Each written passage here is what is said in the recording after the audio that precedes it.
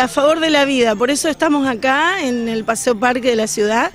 Eh, bueno, nuestra iglesia, la iglesia evangélica, pero junto con la iglesia católica.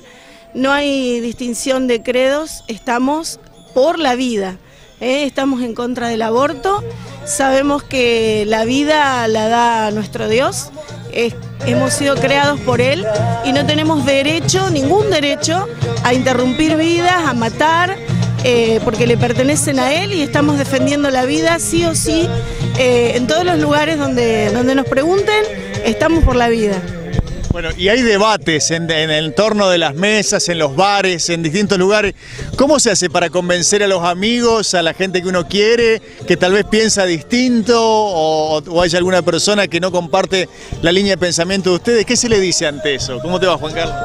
Buenas tardes, Freddy. Buenas tardes a tu audiencia. Eh, yo creo que no es un debate de vida o muerte, sino es apoyar al que no tiene voz, apoyar a aquel que necesita el apoyo del que no ha elegido a llegar al mundo, sino son los adultos. Entonces creo que la vida es vida desde que comienza a crecer, porque eh, no hay nada mejor que, que esa criatura comience a disfrutar de, este mundo, ¿no?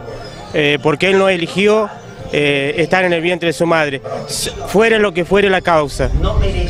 Eh, y hay estos debates, ustedes notan que, hay estas charlas, este, no sé, en, alguna sobremesa, eh, surge como motivo de discusión o de opinión o de intercambio de ideas.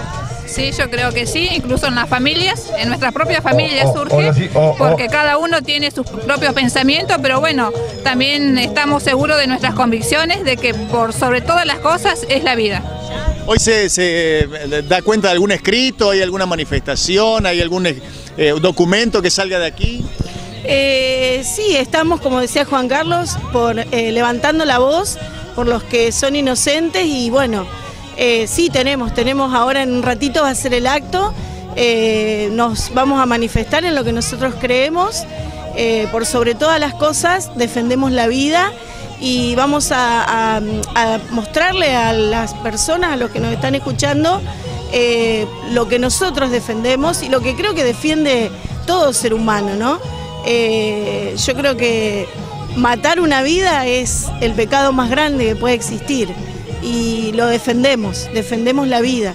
Sí, vamos a estar ahora con, una lectura de lo que hemos, eh, de lo que tiene que ver la ley, de lo que, en contra de lo que estamos y bueno, nuestros carteles también van a hablar. ¿eh? Nuestros carteles tienen mensajes, eh, fueron hechos por los preadolescentes, ellos también están sabiendo de qué se trata y nuestros carteles tienen un mensaje muy claro para toda la comunidad y para toda la gente.